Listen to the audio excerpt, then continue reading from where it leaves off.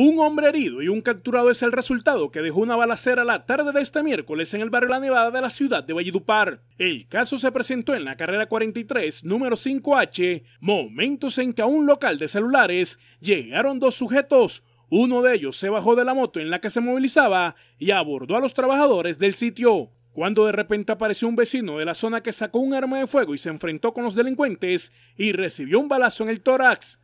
De inmediato el lesionado fue trasladado al hospital de la Nevada y posteriormente la policía dio con la captura de uno de los sujetos que intentó cometer el hurto que fue frustrado. Cabe mencionar que el caso quedó registrado en cámaras de seguridad, por lo que la SIGIN continúa en la indagación.